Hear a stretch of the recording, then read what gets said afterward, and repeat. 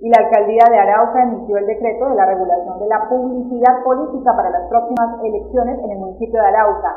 En la Secretaría de Gobierno existen quejas por algunas personas.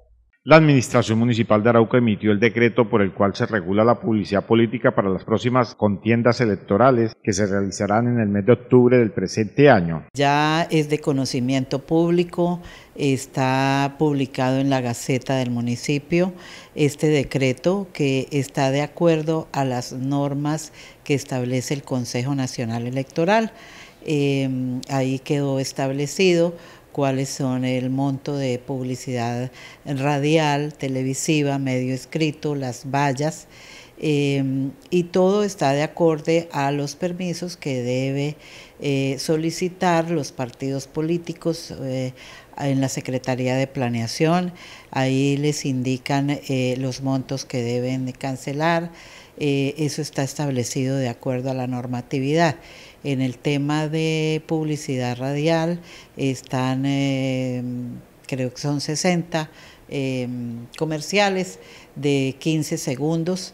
Eh, lo mismo en temas de televisión cuñas de televisión, medios escritos. La secretaria de Gobierno Municipal de Arauca, Lourdes Castellanos, manifestó que el Consejo Nacional Electoral nombró el Tribunal de Garantías en Arauca. Quiero también informarles, y creo que ya tienen conocimiento, que el Consejo Nacional Electoral tuvo a bien nombrar el Tribunal de Garantías Electorales, que ya está funcionando en el departamento de Arauca.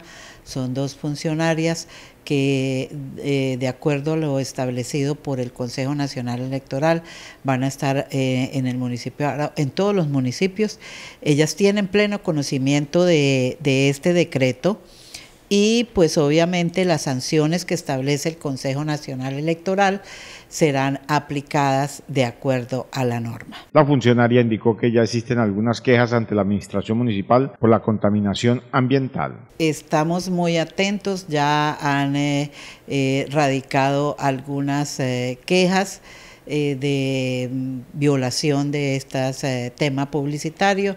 Yo invito realmente a todos los partidos políticos, a los candidatos, que por favor tomen en cuenta estas eh, eh, normas y estos eh, artículos que se establecieron en el decreto y que cumplamos realmente. Vamos a, a estar atentos ya tienen conocimiento, como les decía anteriormente, del el Tribunal de Garantías, entonces eh, eh, la comunidad está, ha estado muy activa y ya ha enviado em, requerimientos de que por qué tienen esta publicidad cuando no está autorizada. Por último, señaló que una semana antes de las elecciones se suspenderá la publicidad política. Son ocho días antes de la fecha establecida por, en el cronograma electoral del Consejo Nacional Electoral. La Secretaría de Gobierno Municipal estará atento a la aplicación de este decreto para garantizar los derechos de la publicidad a todos los partidos políticos.